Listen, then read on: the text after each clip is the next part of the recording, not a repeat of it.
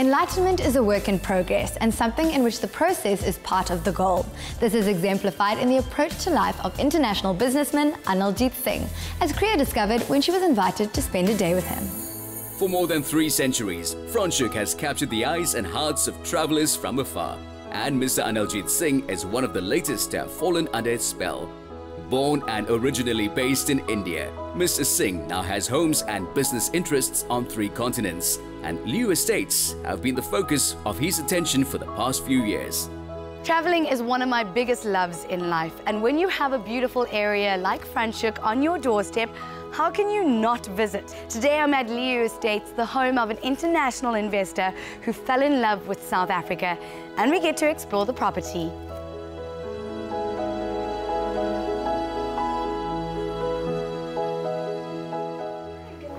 Welcome to Leeu Estate. Thank you so much. I'll be showing you to your room. Let's go.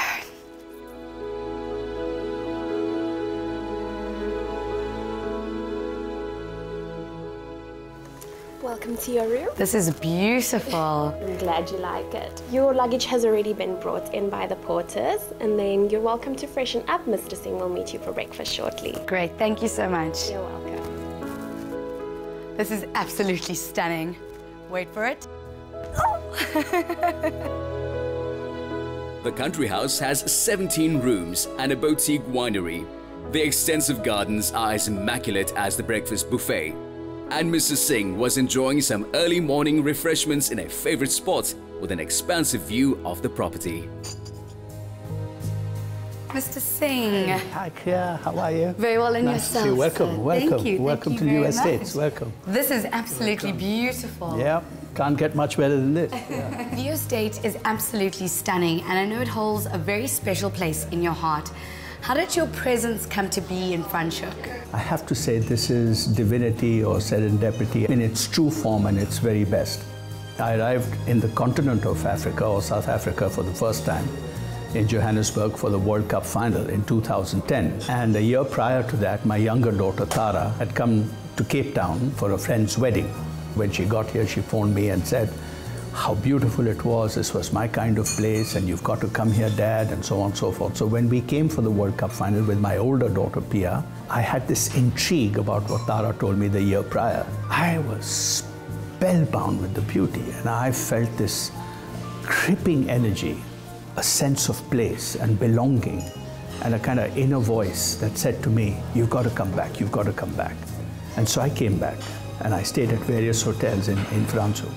And then I said, This is so beautiful, this is so much the way I like the topography, the mountains, the hills, the weather. I'm a cold weather person. And after looking at some 15 or 20 properties in the Franschhoek Valley, I decided to buy this farm, and this was going to be it. And then one thing led to another, and then we acquired the second farm, then we acquired the last farm, and now these four farms came together to become Leeu Estates. Once this part happened, we sort of realized that we didn't have presence in the village. So we started actively identifying opportunities, and I was very, very lucky in identifying what was an average B&B, more or less.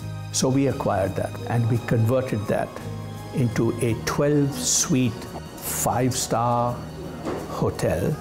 So Leeu House, it actually epitomizes all Cape Dutch architecture that we have reintroduced. And you will see the absolute beauteous landscape pool and garden that we have created there. We have these two majestic oak trees and this lovely patch of lawn. And I was in Johannesburg and I saw this particular sculpture of Mahatma Gandhi and I acquired it. So I said, I've got to get a sculpture of Madiba. And I cannot tell you the number of people that walk into that lawn, sit on that chair, and get a picture taken.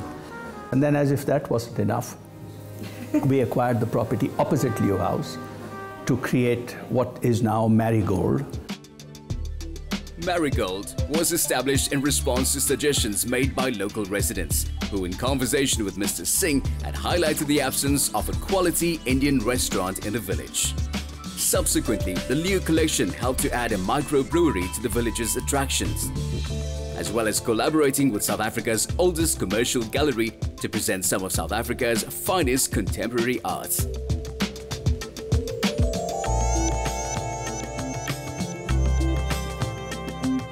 Well, I'd absolutely love to see the estate, and I know that you enjoy a good walk, but I think I'm definitely going to have to change my shoes first. Okay, let's Deal. go. Let's Thank go. you.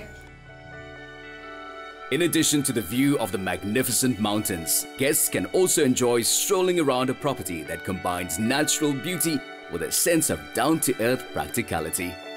So your very own herb garden, literally right in your backyard. Nothing is just done for the sake of it. There's a reason behind it. We have substantial planting of vegetable and herbs in this particular garden. And the beauty about this is that the horticulture team works together with the chef. So the chefs say, okay, plant this for 60, 90 days, 120 days from now. And that's how hand in hand the two programs work. This is a part of our landscaping and art tour, so people come and see the yoga bunny, we call him. Uh, the one we have where we're going now is called Thinker. Well, shall we go give the thinker a visit? Thinker, yeah, yeah, okay.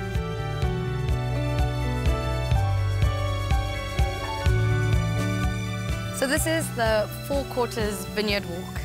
I want to draw your attention to a few things. Everything you see on Leeu Estates, bar none, with the exception of some oak trees, because obviously I couldn't plant a 100-year-old oak tree in four years. But 95% of the planting, the landscaping, the vineyards, the curated lawns, the hedges, the trees, has all been planted by us. That is Vineyard Cottage. The theme that we follow for all our planting here is that from every window you should be able to see a vineyard. From no window on the first floor should you be able to see a rooftop. So that for those people who are upstairs, when they look down, they look into a rooftop garden. It's amazing. So this is your famous thinker bunny. This is a very serene quadrangle, and you know you've got these four benches, and this is a place where you must come to contemplate or bring a book to read. And so we said, ah, we should put thinker. So that's exactly what it's supposed to mean that you must come here, hold hands, or be alone and hold your book and enjoy the serenity. Can't get better than this. Just no, look how you can't. I'd like to walk you towards the pool. Let's move towards the pool. And you will see it's like an infinity pool within a vineyard. Wow, let's go have Let's a look. Go, let's go there. Okay. So that's the pool. The idea of the pool was to be plonked right in the middle of the vineyards. That's what people come and enjoy here. And this is the view you get from here. And then you go in here, there's your spa, you get a treatment, you go to the gym, you do exercise, you come and chill in the pool. The sparring rabbits add a touch of humor to a gymnasium that offers an ideal environment to declutter the mind while exercising the body.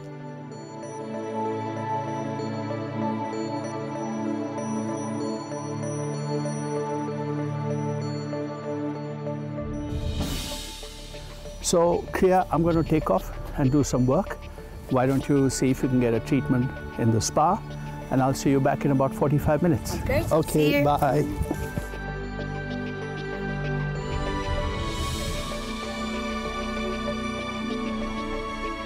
Designed, finished, and furnished in a clean contemporary style, the spa gave Kriya an opportunity to contemplate the tranquility of the setting and the power of coincidence.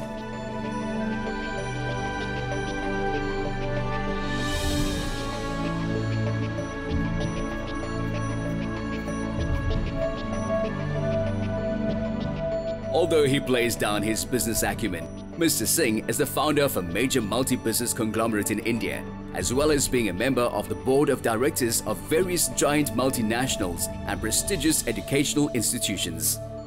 Whatever the field may be, he believes in assembling an expert team to execute his projects and ventures, and he speaks of them as family. He has also followed his approach in his latest winemaking venture, and he invited Kriya to assess the finished product.